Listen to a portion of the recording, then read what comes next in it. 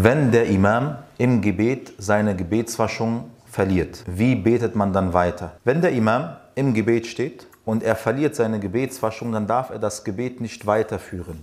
Das Gebet ist aber in der Gesamtheit nicht ungültig geworden, sondern der Imam geht dann weg von seinem Platz und eine Person aus der ersten Reihe geht an den Platz des Imam und betet dort weiter das Gebet. Und deswegen sollten auch in der ersten Reihe Leute stehen, die Wissen haben über das Gebet und über den Fiqh, ja, wie man richtig betet, was man bei Fehlern macht und so weiter. Ansonsten wie wir vorhin gesehen haben, ja, muss man dann von ganz hinten nach vorne, weil vorne es nicht gewusst wird. Und genauso auch in dieser Angelegenheit, wenn der Imam im Gebet seine Gebetswaschung verliert, er hat zum Beispiel Luft gelassen, dann darf er dieses Gebet nicht weiterführen. Wenn er das Gebet weiterführt, wird es ungültig. Ja? Aber was macht er? Er geht weg und eine Person aus der ersten Reihe, die weiß dann normalerweise schon, was Sache ist, geht nach vorne und führt das Gebet ganz normal weiter aus. Ja